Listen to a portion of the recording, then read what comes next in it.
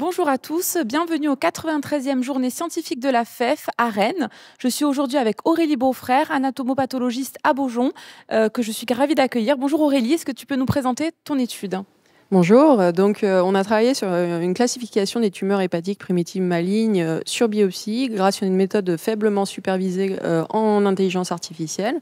Donc on a pris 119 biopsies de CHC, de cholangiocarcinome et d'hépatocholangiocarcinome. Et en fait, on a travaillé dessus avec un modèle d'IA pour essayer, sans lui dire le diagnostic, d'identifier des tuiles prédictives de chacun des sous-types.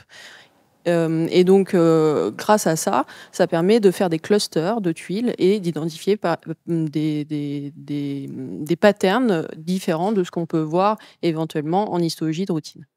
Merci. Et du coup, les résultats principaux de, ce travail, qu'est-ce que tu eh ben, eh bien, de façon intéressante, en fait, on a identifié, la machine a identifié de façon automatique, sans qu'on la guide sur le diagnostic anapath, euh, des tuiles prédictives de CHC, des tuiles prédictives de cholangiocarcinome, alors qu'elle euh, n'a pas euh, identifié de pattern propre à l'hépatocholangiocarcinome, ce qui suggère que la définition actuelle dans l'OMS qui dit qu'il y a un contingent de CHC et de cholangiocarcinome mélangés est finalement la bonne, puisqu'on n'a pas identifié de, de pattern spécifique. Et du coup, est-ce que vous avez trouvé une corrélation avec l'imagerie, par exemple? Est-ce qu'on retrouve ces mêmes euh, différences au niveau de l'imagerie? Alors, euh, actuellement, en fait, sur les mêmes patients, sur les 119 patients, on est en train d'analyser euh, les scanners, essayer de faire un modèle d'IA pour justement faire cette classification de ces tumeurs primitives hépatiques malignes.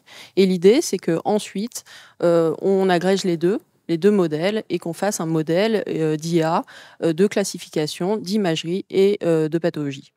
Merci beaucoup, c'est vraiment passionnant. On a hâte euh, d'avoir les prochains résultats. Merci à tous. On se retrouve euh, très prochainement pour des prochaines interviews.